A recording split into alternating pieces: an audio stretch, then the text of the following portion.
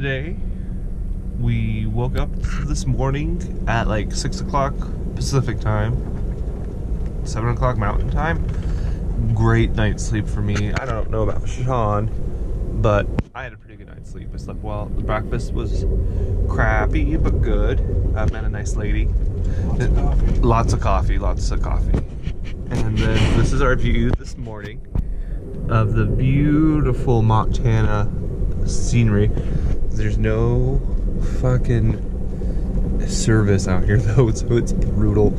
And even though that Sean and I paid, well, Sean paid, not I didn't pay anything, uh, an obscene amount of money, we've gotten the shittiest service on this Amtrak. They, they've treated us like scum besides the attendant that's signed to first class who's awesome but like anytime that we venture out, like they treat us like riffraff, which like, oh good, this is exactly why I spend all this money here.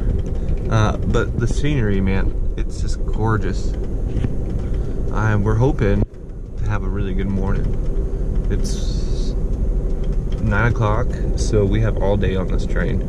We're about to be in Whitefish, Montana. And so I think we'll be going through the Rockies within the next three to four hours. Should be exciting.